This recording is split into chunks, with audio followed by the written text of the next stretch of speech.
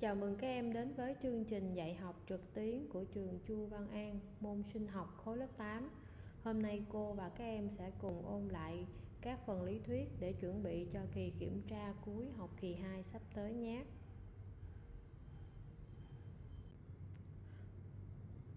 Phần nội dung ôn tập gồm các bài sau đây. Bài thứ nhất là bài số 38, bài 41, bài 50, bài 52, bài 54, bài 55 và bài 58 trong chương trình sách giáo khoa sinh học lớp 8.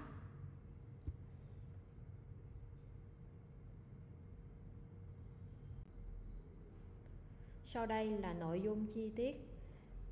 Câu 1, câu thứ nhất. Hệ bài tiết nước tiểu có cấu tạo như thế nào?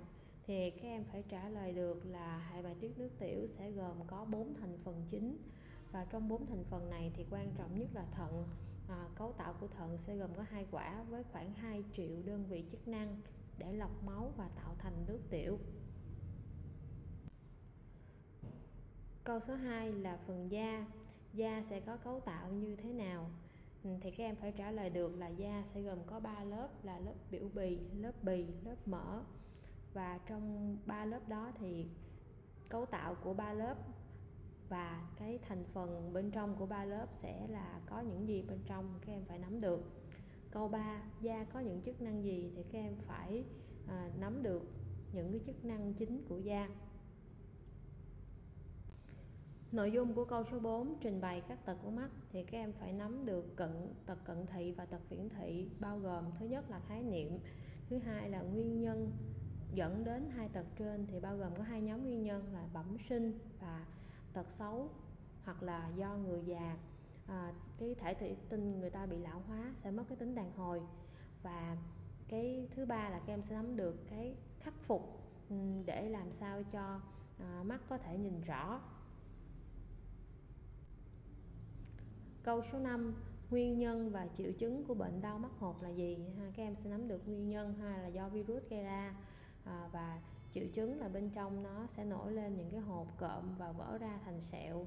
Lâu dần cọ giá cọ sát làm đục màng giác sẽ dẫn tới mù lòa và câu số 6 để tránh tật và bệnh về mắt chúng ta cần có những biện pháp nào thì các em phải nêu ra được những biện pháp để giúp cho ờ, chúng ta không bị những cái tật về mắt hoặc là đã bị rồi thì không có làm cho cái độ của tật về mắt nó nặng thêm? Câu số 7, phân biệt phản xạ không điều kiện và phản xạ có điều kiện cho ba ví dụ ở mỗi phản xạ. Thì cái thứ nhất là các em phải nêu được khái niệm của hai phản xạ và mỗi một phản xạ các em phải nêu được ví dụ ba ví dụ cho mỗi phản xạ. Câu số 8, giấc ngủ có ý nghĩa như thế nào đối với sức khỏe? Các em phải nắm được thứ nhất ngủ nó sẽ là nhu cầu sinh lý và bản chất của giấc ngủ là giúp chúng ta phục hồi cũng như là bảo vệ bộ não và phục hồi cái khả năng làm việc của hệ thần kinh. Câu 9 em có những biện pháp nào để bảo vệ hệ thần kinh được khỏe mạnh? À, chúng ta sẽ nêu được à, các biện pháp để giúp cho hệ thần kinh của chúng ta được khỏe mạnh. Câu số 10 hệ nội tiết có những đặc điểm gì?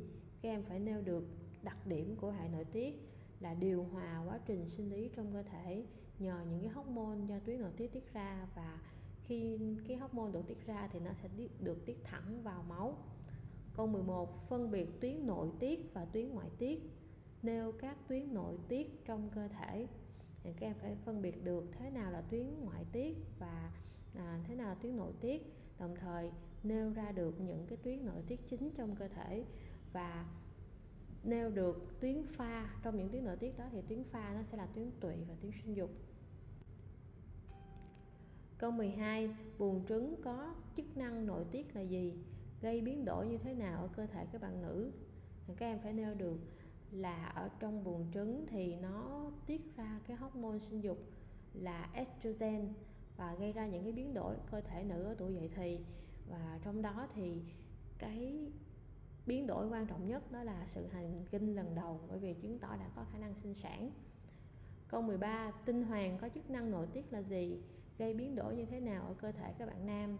Thì cũng như các bạn nữ, tinh hoàng sẽ tiết ra hormone sinh dục nam là testosterone và gây những cái biến đổi ở cơ thể của các bạn nam. Tuổi dậy thì và trong những biến đổi đó thì sự xuất tinh lần đầu sẽ là quan trọng nhất bởi vì chứng tỏ đã có khả năng sinh sản.